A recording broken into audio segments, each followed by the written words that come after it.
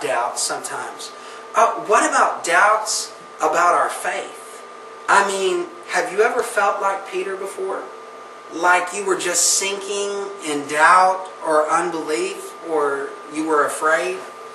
You know what? I think if we're really honest with ourselves today, all of us have had doubts at one time or another in our life and with our faith. But what Jesus wanted Peter to understand in this situation was that faith is a unique and special force that's at work in our world around us, and faith is a unique and special force that's operating in our lives as well. And just like water has these unique properties that allow it to defy gravity and do all these neat, unusual things, so our faith in Christ has this unique, these unique attributes. Our faith in Christ has this unique force that also allows us to cling to the truth that is in God's Word and that truth that is in Jesus. It also allows us to defy gravity in our faith, to overcome fear and doubt, and to believe that we can have our own experience with the truth that empowers us to believe. We can have faith to be different. We can be like the lopsided molecule of water. We can defy gravity, clinging to Christ. We can be empowered to follow Him through the forces of faith. All right, all right. Uh, this is a neat. This is one of my favorite Bible stories. Actually, I really like it. But all right, let's take a look at our experiment with reality now, so that we can test the truth and, and see what's going on with the lopsided molecule. All right, carnations right here. And uh, all of these, uh, there's nothing special about these. Uh, these are all uh, white carnations in a, a, vase of water. But what we did a couple days ago, we took the liberty of putting one carnation in a red dye. Uh, my wife helped me get this set up. We, we dyed the water red and uh, we inserted this carnation. And this shows us capillarity. Water has the ability to defy gravity and to go up. And as you can see, I hope you can see that on, online. As you can see, uh, this carnation has already begun to change colors. We're going to leave it in here and see if it will, uh, it will eventually become totally red uh, from the red water. But this, this proves, this is a test, a truth tester, that proves that water defies gravity because the red water is going up the stem of the carnation and changing the actual carnation's color. Now there's one other thing uh, about water, the, the main principle that we want to look at this morning, and that is cohesion. And this is our, our brings us to our main experiment. We're going to show how water, uh, and I like to call this experiment walking water. We're going, you, you ever took your dog for a walk? We're going to take water for a walk. And here's what happens. Uh, we know that the negative and positive charges in water allows water molecules to cling to one another. And so what, what happens here is once, once something is already wet, like this string, uh, you just take a piece of yarn. If you want to do this at home, you just take a piece of yarn. You can make it as long as you want.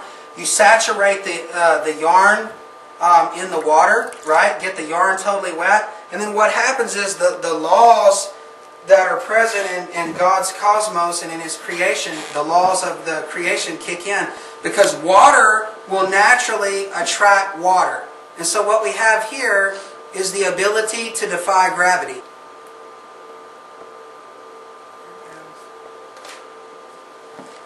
And as you can see, all the water stays on the string and doesn't fall off. Once the, once the string is totally wet, what happens is that the positive charges in the one water molecule, the positive hydrogen charges, cling to the other molecules in the negative hydrogen charge, right? And so you see what's going on there. You know what? We've tested the truth and we've performed uh, we performed another experiment with reality. And again, these realities have proven and tested true. And as you can see, as uh, the water runs down the string, that water has the ability and the properties to allow it to defy gravity. Water is the most amazing substance on earth. And without it, life would not be possible. Water also is noted for cohesion, capillarity, and its surface tension. All of these ideas also prove true.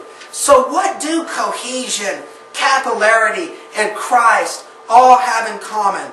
Well, they all have the ability to defy gravity. Today, my hope is that you will realize that just like Peter uh, walked on the water, you can also have the ability Down the through street. faith Right. to defy gravity. If you'll just believe the truth that's in Jesus, God will give you a faith experience. He'll make you like a lopsided molecule of water. Faith that can defy gravity and bring you to a place where you live free of fear and doubt and death shadows. A place where you can have an experience with faith Lost his baby. that empowers you to be able to cling to Christ in relationship.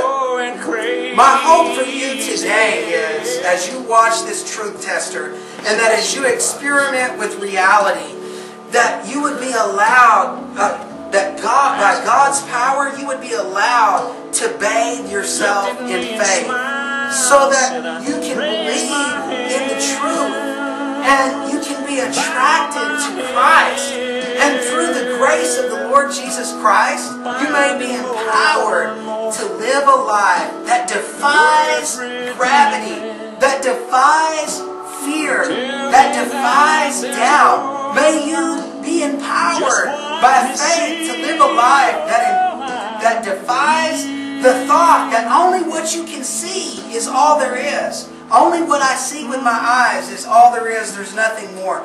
May you have an experience today that empowers you to live above that. Because you know what? There's so much more to this life than what we can simply see. The Bible says, No eye has seen, no ear has heard what God has prepared for those who love Him. And we walk by faith and not by sight. Paul told Timothy to continue in what you have learned and firmly believe. Uh, firmly believe what? Firmly believe what you have received from childhood and the sacred scriptures that you know and have learned, which are able to instruct you to believe in salvation through faith in Jesus Christ. Today, may you be like a lopsided molecule. May you believe in faith that is in Jesus Christ. And may you be empowered to defy gravity.